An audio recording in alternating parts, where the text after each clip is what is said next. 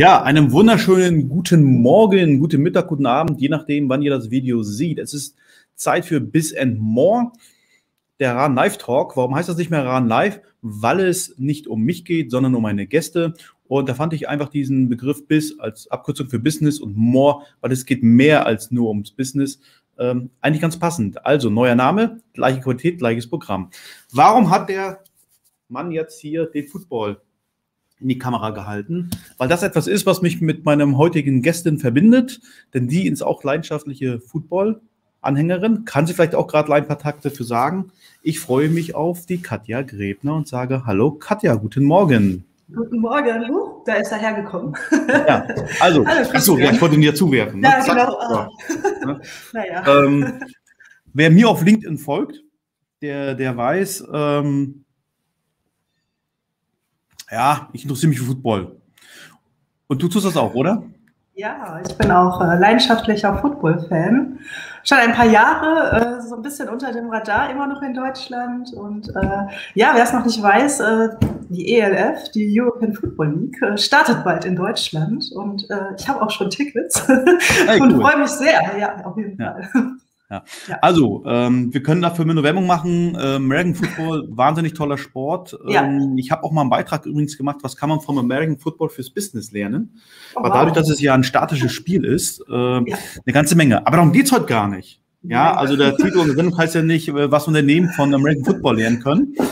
Äh, auch wenn ich da Stunden dann lang mit dir drüber reden könnte. Ja, ähm, sondern es geht heute um Farben, wie Farben auch dein Business äh, beeinflussen. Bevor wir darauf kommen, ähm, und über die Farben reden wollen, wir haben auch paar schöne Beispiele. Mhm. Stell dich doch mal ganz kurz vor, warum kannst du eigentlich über das Thema Farben so gut reden?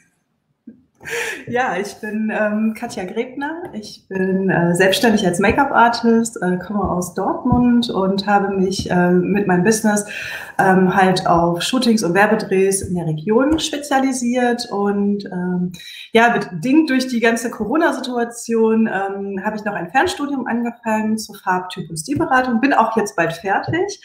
Ähm, und ich habe einen Kunden, den berate ich jetzt schon viele Jahre ähm, zum Thema Fotostyling und auch in meiner Arbeit mache ich das halt immer sehr gerne mit.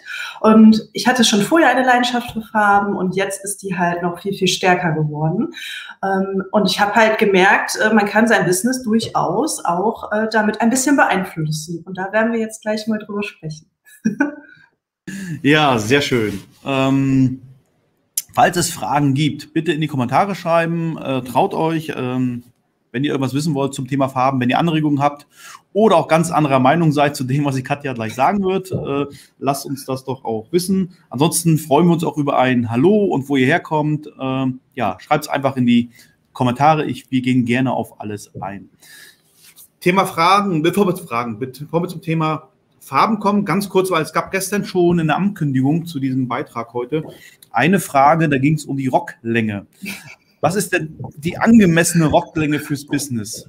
Oh ja, ähm, wo fange ich da an? Also es gibt natürlich immer noch ungeschriebene Gesetze. Der eine oder andere hat wahrscheinlich auch schon davon gehört, von Casual Business, Modern Business oder halt auch, ähm, ja, ganz klassisch halt das Formal Business. Es liegt so ein bisschen daran, in welchem Bereich arbeitest du, sollte man sich als erstes fragen. Und was möchtest du transportieren? Also vielleicht auch so ein bisschen die Frage, welche Position möchte ich bekleiden und welche habe ich aktuell? Deswegen, äh, ich will da gar nicht so ganz strikt drauf antworten. Ähm, es muss immer zum Typen passen, man muss sich wohlfühlen. Ähm, dieses klassische eine Hand Länge über dem Knie ist vielleicht immer noch modern. Alles andere sollte vielleicht eher für die Freizeit gedacht sein. Als kleiner Tipp am Rande. okay. Machen wir einen Haken dran. Ja. Ähm, kommen wir zum Thema Farben. Ja, sehr ähm, gerne. Du hast mal vom Vorgespräch angedeutet, du würdest auch ganz gerne was zum Thema Schwarz und Blau sagen wollen. Ja, sehr, sehr gerne. Ähm, es ist halt so, ähm, es, viele Menschen haben ein Fable äh, natürlich für Farben. Das frage ich auch immer ganz gerne in meiner Beratung. Ähm, da fallen mir auch immer gewisse Sachen auf. Eins davon ist halt, dass die Farbe Schwarz bei vielen Menschen sehr begehrt ist. Was manchen Berufen geschuldet ist, zum Beispiel Architekten tragen sehr gerne Schwarz oder auch Menschen, die in sehr, sehr kreativen Bereichen arbeiten, uniformieren sich so gesehen in Schwarz. Ähm, warum schwarz? Also man hat halt festgestellt, dass so bis einschließlich zum 25. Lebensjahr ungefähr schwarz äh, die Lieblingsfarbe ähm, von beiden Geschlechtern ist. Ähm, und je älter man wird, umso mutiger wird man auch in der Farbe. Was hat es auf sich? Warum? Erklärt vielleicht auch, warum viele Rentner in Rentner beige rumlaufen oder manchmal auch in ganz starken dynamischen Farben wie Orange oder Pink oder Royal Blau. Ähm, wenn man mal zum Beispiel die Queen so ein bisschen sieht in ihren äh, extremeren äh, Farbgebungen. Äh, also Schwarz ist natürlich einmal die Farbe äh, der Macht. Äh, wenn wir uns eine Richterrobe vorstellen, das drückt ja auch schon was aus. Und gleichzeitig natürlich auch Eleganz und äh, die Endlichkeit. Und je näher wir zu unserem Lebensende kommen, je bewusster werden wir uns dem und äh, freuen uns daher mehr, um Farbe zu bekleiden. Also das ist so einer der Hintergründe. Ja, also ich habe auf jeden Fall heute schon mal was gelernt. ähm, ich weiß nur, dass, dass, Johnny Cash mal ein Lied gemacht hat, oder eines seiner berühmtesten Lieder ist ja ähm, äh, The Man in Black. Und da erklärt er ja, warum er immer schwarz trägt. Er hat ja dann irgendwann angefangen, auch nur noch in schwarz aufzutreten. Mhm. Und hat es ja im Grunde kurz zusammengefasst gesagt, das ist als Solidarität für die Unterdrückten ja. der Gesellschaft. Ja, ähm, ja stark. Ja, ich kenne es natürlich auch. Ja, ich habe ja eine, eine lange ähm, Karriere in sogenannten großen Corporates hinter mir. Ja, wo ganz klar die Ansage war, äh, also wenn du da mit einem hellen Anzug mal gekommen bist, dann hieß es schon, ui, das ist aber irgendwie, wir sind nicht auf dem Sommerfest, wir sind auf der Arbeit, das muss schon der dunkelblaue, ja, es muss schon Nadelstreifen sein und ja nicht ohne Krawatte. Aber merkst du, dass es diesen, diesen Farbzwang im, in der heutigen Businessmode noch gibt? Äh, ja, schon etwas. Also es gibt halt auch wirklich nach der Farbtyp-Stilberatung äh, Businessfarben, die äh, weltweit äh, auf ein ungeschriebenes Gesetz festgelegt sind. Das, das muss man kurz ablesen, nicht, dass ich eine vergesse. Das ist blau, grau, beige, braun und weiß. Also weiß hier in dem Falle das Hemd oder die Bluse mhm. unter dem Anzug. Ähm, das ist so ein bisschen die Nummer sicher natürlich auch. Äh, ist immer so die Frage, wie modisch ist das gerade? Das kann natürlich auch jeder für sich interpretieren. Also arbeite ich jetzt vielleicht irgendwie bei einer Bank im Vorstand, sollte ich vielleicht eher den dunkelgrauen Anzug wählen. Bin ich aber vielleicht irgendwie im Kundenkontakt ähm, und eher, ich sag mal, sportlich unterwegs, kann man natürlich auch ein helleres Grau wählen, was irgendwie jugendlicher halt auch ist. So, also das mhm. ist natürlich immer eine Typfrage. Ähm, aber man kann sich selber immer ganz gut so ähm, festlegen, je höher die Position, umso dunkler und so gesetzter sollte auch die Farbe mhm. sein. Ja, das ist ja auf jeden Fall äh, Business Nickel gerecht, sicherlich. Ähm, auch aktuell bestimmt so, ähm, ja, wie es aktuell noch gehandhabt wird. Ich beobachte allerdings da doch auch einen kleinen Wandel. Also wenn ich so in den, den C-Level-Etagen unterwegs bin, dann erkenne ich doch, dass da eine gewisse Lockerheit äh, Einzug gehalten hat. Hängt vielleicht auch was mit Generation zusammen, vielleicht kannst du da gleich drauf eingehen. Ähm, aber da ist schon mal das Hemd gar nicht mehr da, da ist es nur das T-Shirt unterm, unterm Sakko. Ja. Ja, oder denken wir an Tim Höttges von der Telekom mit seinen pinken Sneak, mit dem Thema Magenta. Himmelswill. Als die Michaela Rizia zusieht, das ist Magenta-Farben. Ich weiß das, ist nicht pink. Ja, ähm, das ist völlig anderes. Ja, ähm, jetzt kriege ich noch Ärger mit der Michaela. Ähm, die ist da nämlich sehr stark involviert. Okay. Ähm, dann merkt man doch auch schon, hey, das wird doch ein Stück weit lockerer, oder? Ja, also ich äh, finde und merke ich auch halt in meiner Arbeit, ähm, äh, dieses sehr, sehr konservative, äh, das, ich will nicht sagen, das schwindet, das gibt es natürlich immer noch und es wird es auch noch weiterhin geben. Äh, das halt wirklich ganz steif mit der Krawatte, äh, Damen in einem dreiteiligen Kostüm, äh, das soll es auch noch weiterhin geben. Ähm, aber viele Firmen machen ja auch gerade ein bisschen einen Wandel durch. Es liegt ja auch ähm, so ein bisschen an diesem New Work oder New Economy. Jeder will halt jung, hip, rüberkommen, auch eher sehr alt eingesessene Firmen. Ich will jetzt hier wieder keine Namen nennen, die Firma, die du zum Beispiel gerade genannt hast, die müssen ja alle irgendetwas tun und ähm, wir können das halt mit der äh, Bekleidung oder halt auch der Farbe so ein bisschen äh, aufbrechen und halt lockerer gestalten und vor allen Dingen auch kundennahbarer. Mhm. Also ähm, ich nenne jetzt hier keine, die Bank nenne ich jetzt nicht, aber vielleicht ist es dem einen oder anderen auch aufgefallen.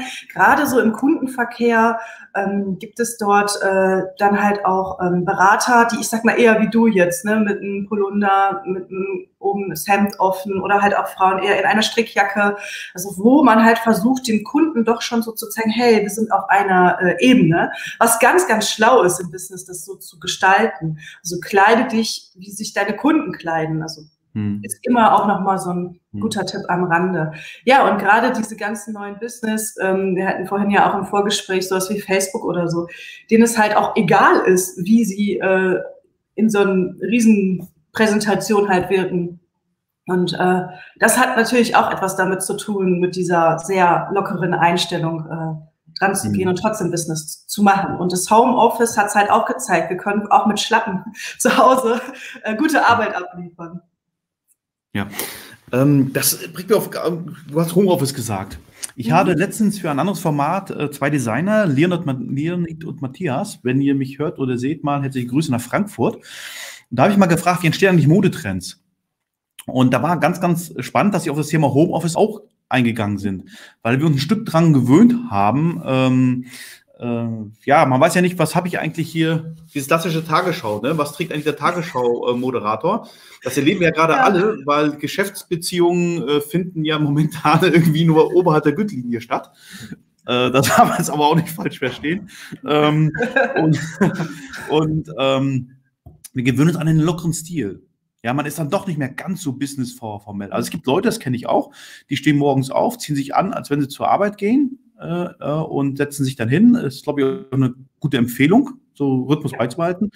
Aber ist doch schon locker geworden. Und da haben sie gesagt, naja, du, wir stecken jetzt eigentlich in einem riesen Dilemma. Auf der einen Seite gewöhnen wir uns gerade an einen eher freizeitorientierten Stil. Wir haben, mögen es locker. Ja, ich will jetzt nicht sagen, man sitzt in der Jogginghose oder Shorts vor, vor dem Bildschirm. Ähm, auf der anderen Seite sehnen wir uns auch gerade wieder nach Ausgehen ja, rauszugehen, total. sich schick machen. Und da haben die beiden einfach mal so die Prognose aufgestellt. Ähm, es wird auf der einen Seite schick, aber im lässigen Stil. Und das wird auch Einzug in die Mode und damit auch irgendwann in, die, in den Businessbereich äh, halten. Fand ich also auch sehr, sehr spannend. Ähm, merkst du es dann auch, ähm, dass sich ja die, die Farben verändern oder ist es nur das, der Stil? Also die kleiden sich jetzt locker, das Hemd ist weg, es ist nur ein T-Shirt da, vielleicht auch, auch die Jeans, ja, vielleicht auch ein Sneaker. Aber ändert sich das auch in den Farben oder sind es dann eben äh, die grauen, beigen und, und schwarz und blauen T-Shirts, die dominieren?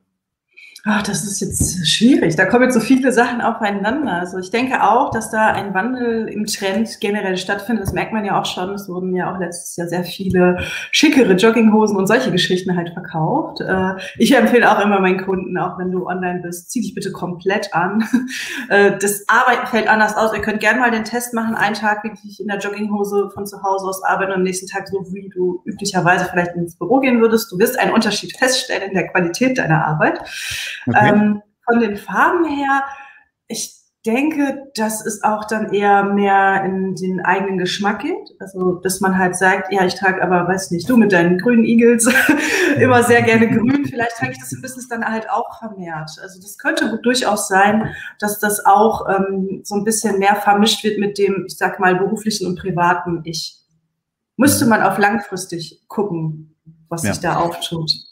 Jetzt haben wir noch einen Kommentar gerade reingekommen vom äh, Sascha. Herzliche Grüße in die Schweiz, lieber Sascha. Lieber kein Ärger mit der Michaela, besser ist das. Äh, aber sie scheint nicht äh, uns gerade zuzuschauen, sonst hätte sie sich wahrscheinlich schon gemeldet. Ähm, jetzt kommen wir doch mal auf den Punkt. Ähm, jetzt haben, das klang jetzt alles sehr, sehr nach Business, sehr, sehr männlich. Ja, wir haben. Ja, schon. da ist die Michaela. So, äh, gerade von ihr geredet ähm, es ging, falls du es noch nicht gesehen hast, Michaela, äh, es ging um die magentafarbenen Sneakers. Ähm, bei Frauen ist das ähnlich von den Farben her, was klang mir doch alles sehr, sehr männlich, maskulin. Also ich versuche immer sehr frei davon zu sein. Was ist männlich, ja. was ist weiblich? Also in, in meiner Welt oder in meinem Beruf äh, ist es völlig normal, auch Männer zu schminken oder so. Da mache ich gar keinen Unterschied. Also es geht halt um den Mensch. Auch wenn es mhm. sich immer sehr männlich anhört. Das ist ja auch nun mal so, dass die Businesswelt sehr männerbelastet, würde ich sagen, also, also Männer ausgelegt ist. Ähm, bei Frauen ist es dasselbe. Also die Businessfarben, die ich gerade genannt habe, dass man sich an dem Grau, an dem Blau, an den eher gesetzteren Farben orientieren kann. Ich sage bewusst kann. Bei Frauen kann das natürlich auch immer ein bisschen aufgebrochen werden durch Schmuck, durch Handtaschen, durch Schuhen oder ähm, irgendwelche anderen äh, farbigen Tops zum Beispiel. Da ist natürlich auch ein bisschen mehr Freiraum gelassen. Da sind wir auch wieder bei dem Anfangsthema der Rocklänge, äh, wo man halt einfach gucken sollte, in welchem Bereich arbeite ich und, und was passt halt für mich. Ne? Ähm, ja. Um ja, nochmal so ein bisschen stärker darauf einzugehen, ähm, würde ich jetzt mal das Beispiel Angela Merkel nennen, wenn du möchtest. Ja, machen wir, machen wir sofort. Ich möchte ganz, ganz kurz äh, Michaela, äh, Magenta, Fragezeichen. Äh, die klären so auf, wenn die Farbe, die Telekom-Stickers nicht Magenta sind, ob es eine andere Farbe ist, dann schreibt das bitte auch nochmal rein. Und sie sagt aber auch, sie trägt auch schwarze. So, Beispiel Angela Merkel. Mhm. Ähm, das fand ich total faszinierend im Vorgespräch. Äh, das teil doch bitte uns jetzt auch nochmal.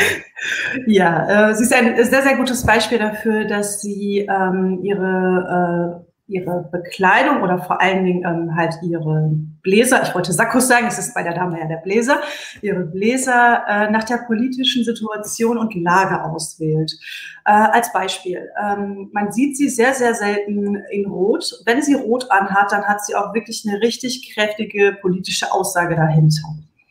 Ähm, Momentan trägt sie sehr, sehr viel Blau. Blau ist halt wirklich so dieses einheitliche, harmonische, zusammenführende, ähm, sie möchte so ein bisschen so, so diese Spanne halt schaffen, weil Blau hat halt äh, bei den meisten Menschen kein negatives, ähm, keinen negativen Hintergrund. Also die meisten Menschen empfinden Blau als äh, angenehm.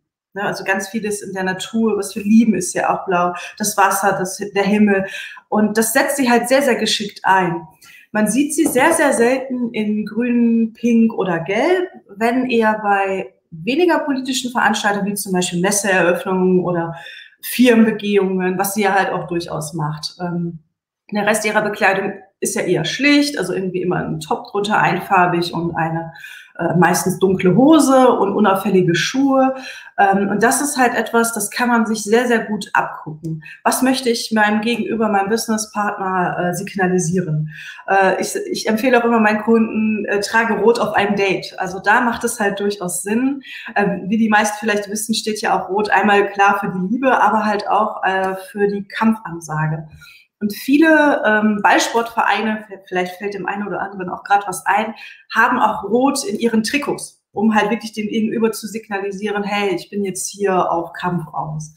Und ja, möchte man es eher harmonisch haben, äh, sollte man durchaus blau wählen.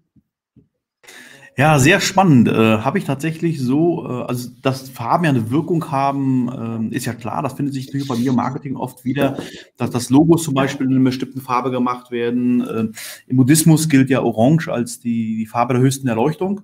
Mhm. Ja, ähm, also wenn man, ich sag mal, wenn man so einen äh, Shaolin-Mönch im Orange sieht, dann weiß man, der hat's geschafft.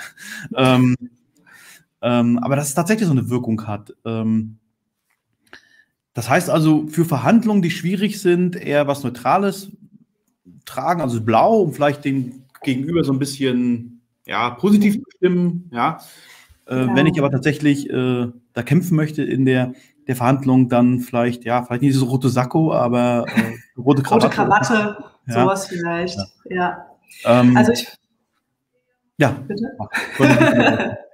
Nein, kein Problem. Also zu, zu dem Thema Blau, äh, wie gerade auch schon erwähnt, ähm, man schafft halt ähm, eine positive Emotion, äh, Sympathie. Dieses Harmonie, es wirkt halt beruhigend.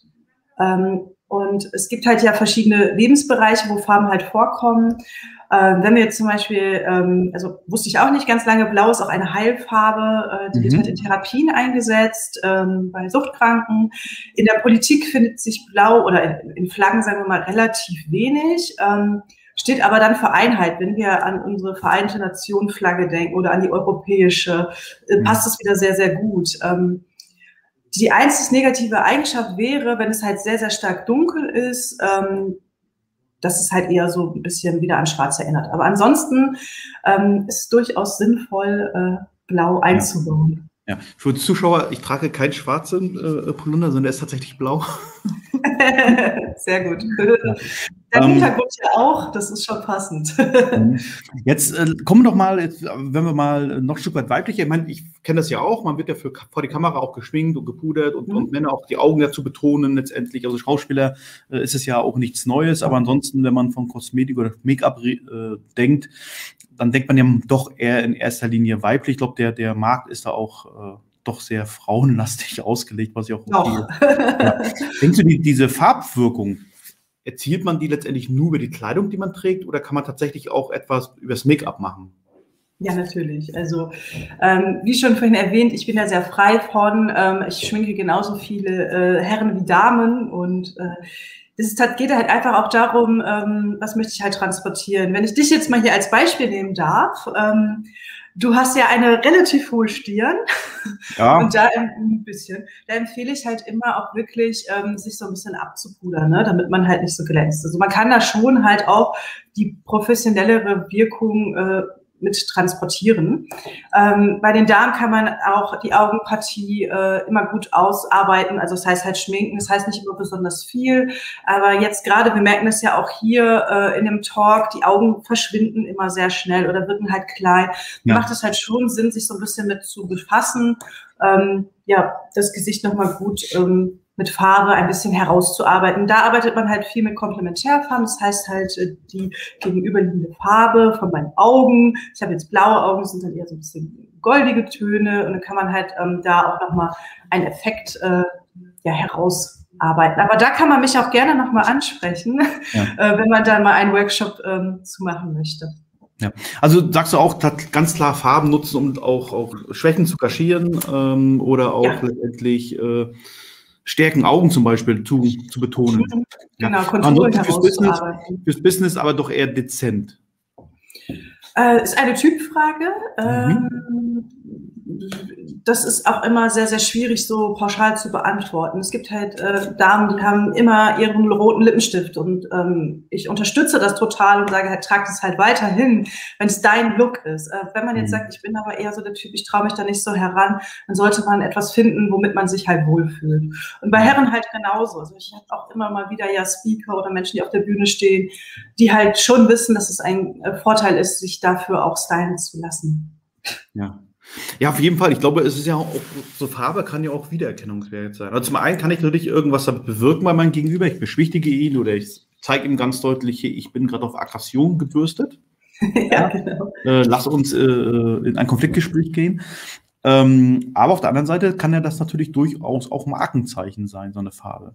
Total. Ich meine jetzt gar nicht nur im Logo, ganz klar. Ne? Man kennt mhm. ja bestimmte, äh, bestimmtes Logo zu bestimmten Farben oder äh, nehmen wir das Magenta der Telekom, ja, oder das Sparkassenrot, um das sich, glaube ich, auch die Sparkasse mit einer anderen spanischen Bank äh, gestritten hat, äh, dass die das gleich rot nutzen dürfen.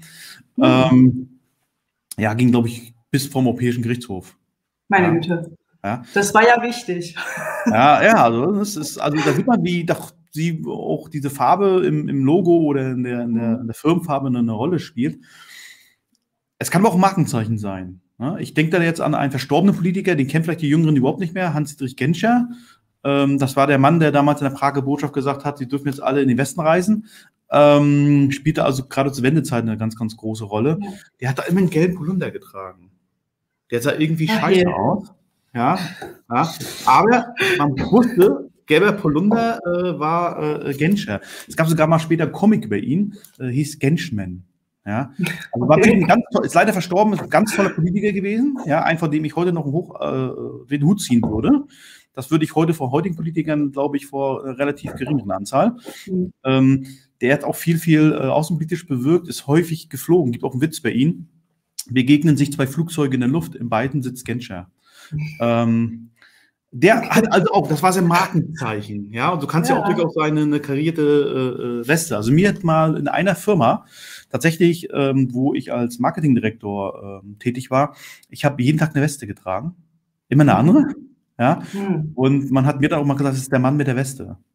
Ja. ja. Also man, man kann, glaube ich, schon äh, auch über Farben äh, Zeichen setzen. Jetzt weiß ich nicht, ob knallrote Lippen tatsächlich immer so gutes Markenzeichen sind, aber man ändert sich halt daran. Ich glaube, wichtig ist, dass man nicht reduziert wird auf, auf die Farbe. Ja, also das ja. ist nicht, äh, das ist der Mann mit der gelben Weste. Also der Genscher hat äh, durchaus sehr, sehr viele kluge politische Entscheidungen äh, äh herbeigeführt. Ähm, aber äh, das ist natürlich ein Erkennungszeichen. Es gab noch andere, manche machen es mit der Fliege oder, oder dergleichen.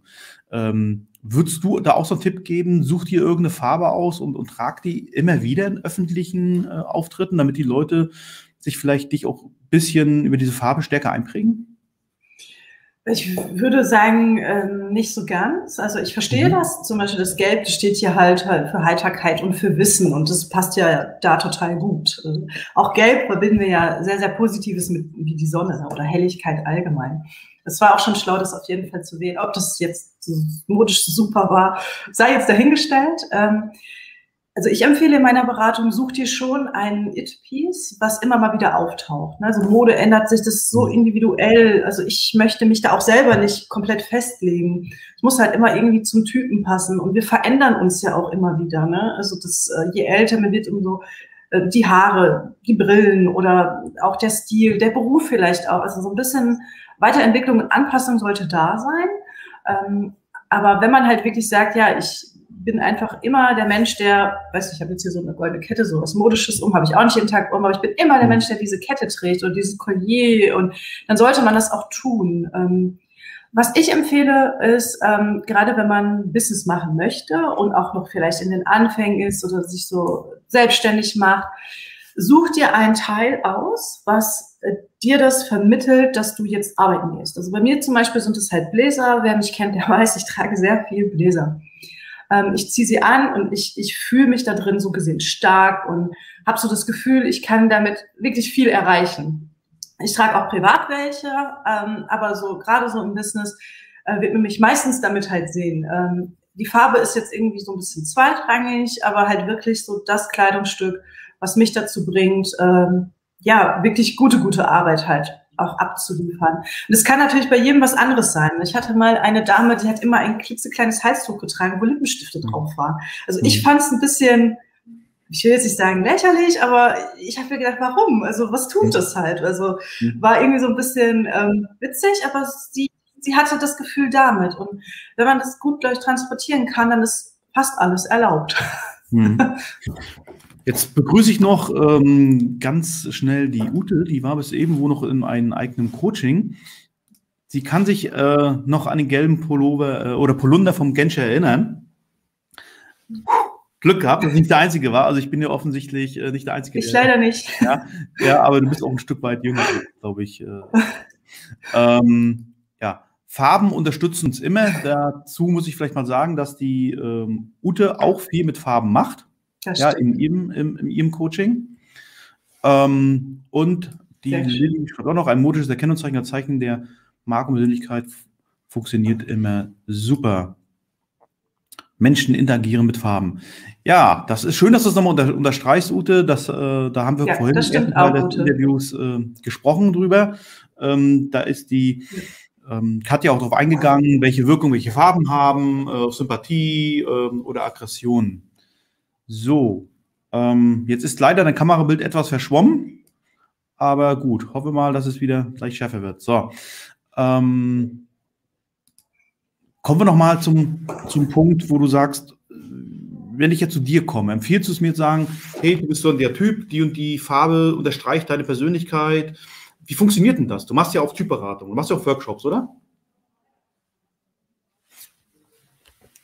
Katja, hörst du mich noch? Also ich bin da gerade noch so ein bisschen ähm, in den Startlöchern. Also als Make-up-Artist mache ich das so gesehen schon viele, viele Jahre, dass ich halt auch bei Shootings vor Ort berate. Ja, ich höre dich. Ja, okay. Hörst du mich noch? Ja, also hallo, hallo. Äh, vielleicht zur Erklärung, wir scheinen gerade irgendwie einen Zeitversatz zu haben. ja, funktioniert wieder. Ich so. nicht, also ich höre alles ganz normal. Gut. Jetzt bist du bei mir ein bisschen ja. eingefroren. Mach jetzt trotzdem einfach mal weiter. Ähm, du sitzt in Dortmund. Offensichtlich ist in Dortmund gerade irgendwie äh, die Internetleitung nicht ganz so angenehm. Ja. Ähm, aber nichtsdestotrotz, meine Frage war, du bietest ja auch Workshops an in der, in der Fahrberatung, in der ja. ja. Äh, vielleicht kannst du dazu noch ein paar Sätze sagen.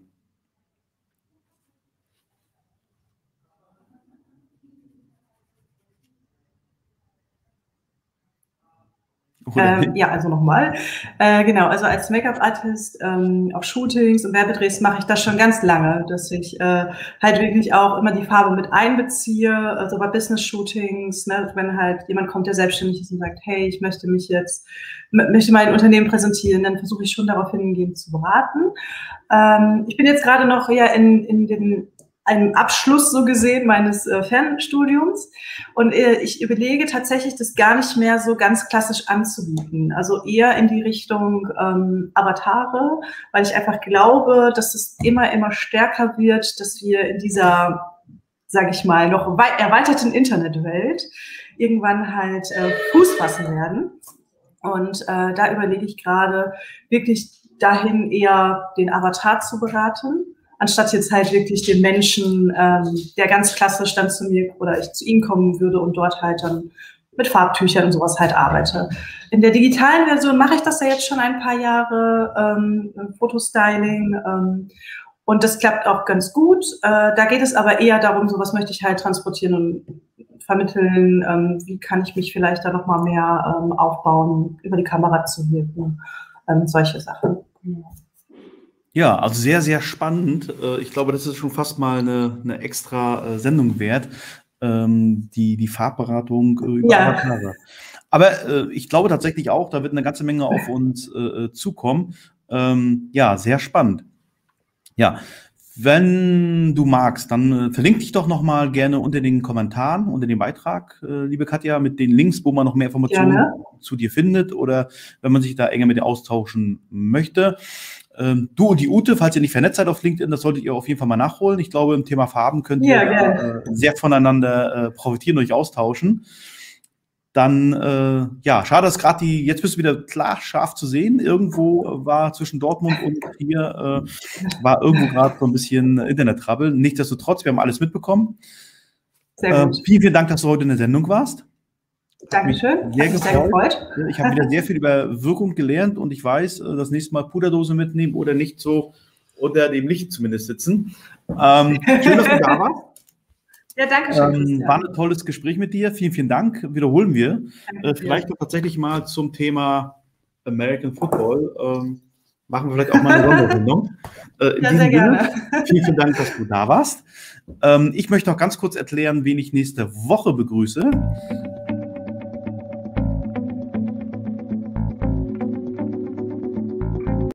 Kommunizieren kann man nicht. Also es lohnt sich auch nächste Woche wieder einzuschalten. Ich bedanke mich für die Aufmerksamkeit und wir sehen uns dann nächste Woche Mittwoch 10 Uhr zum Thema nicht kommunizieren, nicht kommunizieren kann man nicht. Also vielen, vielen Dank und habt noch eine schöne Zeit.